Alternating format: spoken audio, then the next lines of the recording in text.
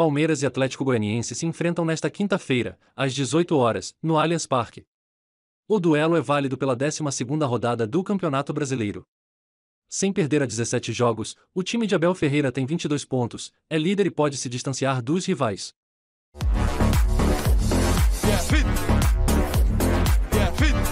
Esse vídeo é um oferecimento da 1xBet, a maior casa de apostas esportivas do mundo, e patrocinadora do Barcelona.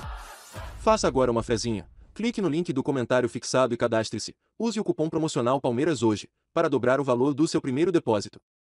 Mais de 37 mil torcedores devem ir à arena para apoiar o Verdão. A última derrota ao Viverde aconteceu na primeira rodada do campeonato, para o Ceará. Com 11 jogos de invencibilidade no Brasileirão, Abel Ferreira tem mantido uma espinha dorsal de time titular, mas que não terá um nome importante, Marcos Rocha. O lateral direito não tem lesão, só que foi poupado por dores na coxa direita. Garcia é o favorito a substituí-lo. Mike, voltando de lesão, corre por fora.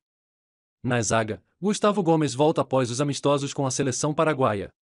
Uma provável escalação seria com Everton, Garcia ou Mike, Gustavo Gomes, Luan ou Murilo, e Piquerez.